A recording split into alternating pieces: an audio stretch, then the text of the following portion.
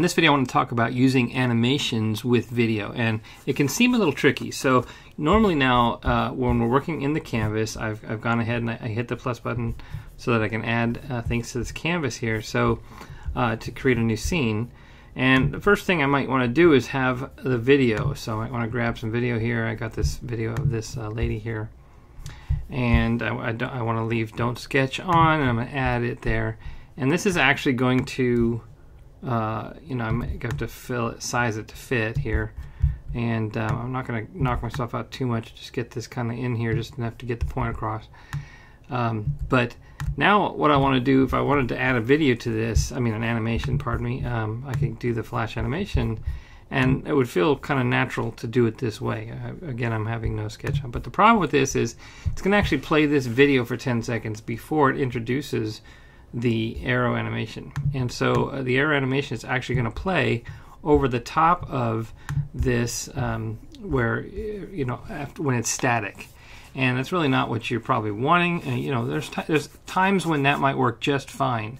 But I think a lot of the time you're going to want this to be playing at the same time.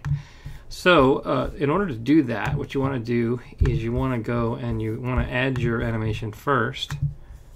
So I'm going to go ahead and do that. And I'm going to, again, leave don't sketch on and add.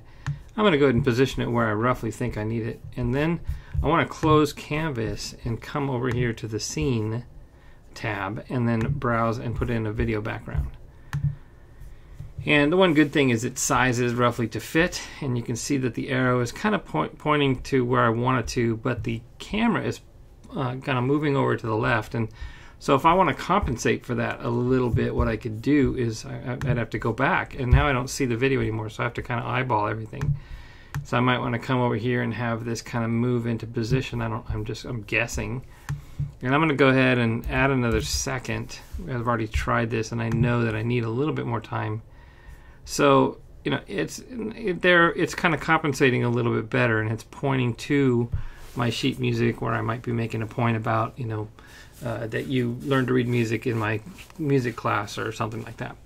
So, anyways, this is something that you need to do now. Notice that this video is being cut short and it's looping and it's really timed by my arrow animation. So, uh, what if I want the rest of the video to actually play? Well, uh, then you can go to the tab, uh, the SWF tab, pardon me. And what I want to do is I want to pause after a frame. And really, I want to do it anytime after the motion but I'm going to go ahead and just go to frame, like just go one, maybe 73, just here towards the end so that there's really only one frame or so after that. I want to be, so I'm going to the end. This is showing me the duration of the animation. So if I want to, now notice up here as I uh, increase the time here, I'm adding the time. I know that this is a 10 second video. So I'm going to try to get this to last those full 10 seconds. And if you look up here in the upper left, you can see that I'm adding that time, but also if I look into the preview now, I'm going to see that this is going to last the entire. And so now she's playing, she's smiling, and there's stuff going on. And I'm seeing the full video.